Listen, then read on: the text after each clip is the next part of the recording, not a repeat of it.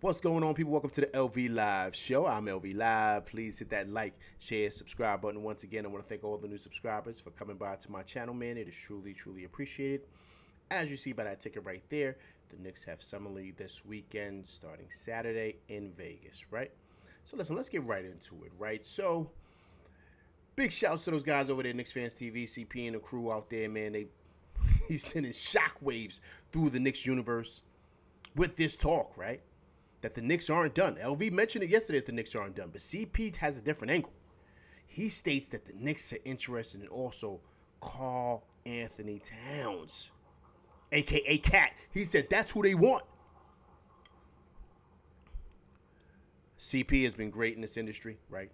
I would say he's pretty much leading the ship as far as this uh you know new content goes, right? As far as the Knicks goes, but I pray. I pray that whoever he spoke to was fibbing and not telling the whole truth. Because listen, we do not want KAT. If we're gonna move anybody, if we're gonna move Randle for anybody, it's got to be what I said yesterday. It's got to be Giannis, right? It's got to be him. It cannot be for KAT.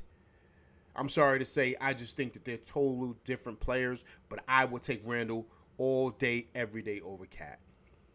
Now, yes, you know he, he, he can be a step out big. He could be a you know you know five out like they do there in OKC and all them other places, right? But to me, I don't know if he's a tough fit. Uh, excuse me, a good fit here. Under Thibodeau, remember he was over there in Minnesota. He was in, he was he was in Minnesota when Thibs was there. Heard there was issues there with Thibs, so I just don't see how that's a good fit. Also, too, is he a good fit with the way the Nova boys like to play? Meaning that we need a go-to guy to go to, a go-to guy. KAT folds up like tissue paper, man. Everybody knows he's soft and fluffy like grits. Everyone knows that. So Randle for KAT, I can't see it. Now, now look, I'm not saying CP's not telling the truth. He's fibbing. I don't know. He's usually a pretty credible guy, but I'm just saying the Knicks universe does not want to see that at all. We understand who both players are. We do. I understand the, the Knicks, you know, the executives with the Knicks, top guys up there. They love KAT, CAA guy. We understand that. But I don't think he's better than Randle. Not even close.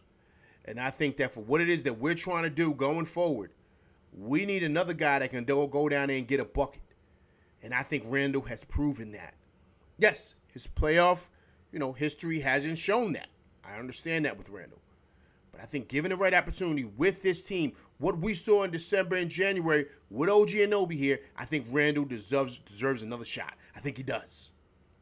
But the only way we make that deal for Randle is if we can get what I said yesterday. If we can get the Greek freak over here in the MSG, then you do that deal. ASAP, you do that deal. But if not, we hold on to Randle.